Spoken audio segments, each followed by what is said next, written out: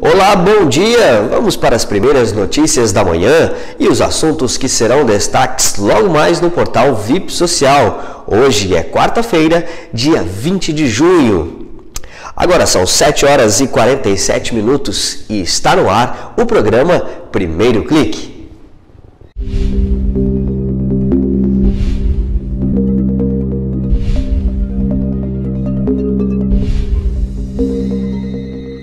E ontem nós demos em caráter de plantão uma notícia sobre um acidente de trânsito que aconteceu na cidade de Canelinha. No fato, um jovem de 19 anos ficou ferido. Daniel Reis foi conduzido ao hospital com alguns ferimentos pelo corpo devido à queda.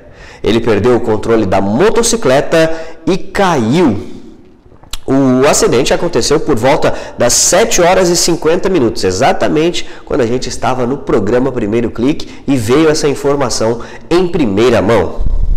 Bom, já que nós estamos falando de acidente, uma outra colisão envolvendo motocicleta aconteceu no início da noite de ontem. A vítima, um entregador de água que estava com a moto carregada no momento da colisão. Ele bateu na lateral de um veículo e ficou ferido depois de cair no chão. Este fato aconteceu na Avenida Emília Ramos, a conhecida P4 em Tijucas. O veículo, um Volkswagen Gol com placas de Sorocaba, São Paulo, teve o retrovisor quebrado e uma das laterais amassadas. Nenhum dos ocupantes do veículo se feriu. Vamos falar de política. As eleições 2012 estão a todo vapor.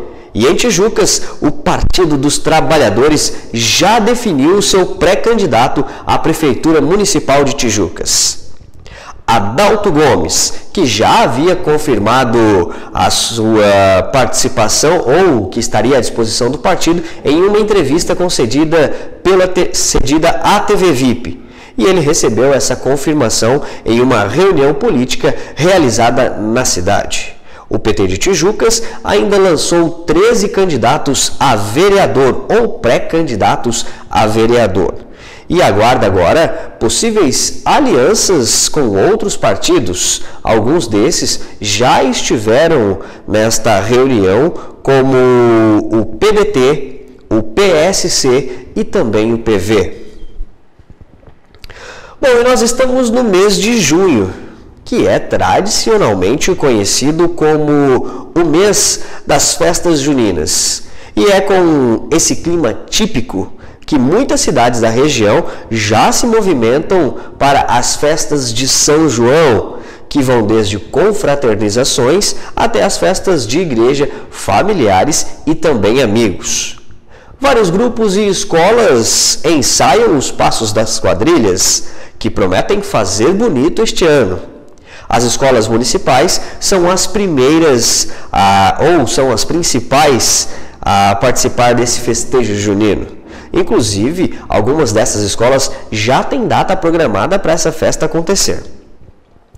O mais legal de tudo é que essa tradicional festa já tomou grandes proporções e invadiu até mesmo as festas infantis. Só no último final de semana, os fotógrafos do VIP Social registraram alguns eventos em que o tema principal era este: as festas juninas. Pais, familiares e convidados todos fantasiados em busca de muita alegria e, é claro, essa confraternização especial que vem das festas juninas, principalmente no mês de junho e também julho.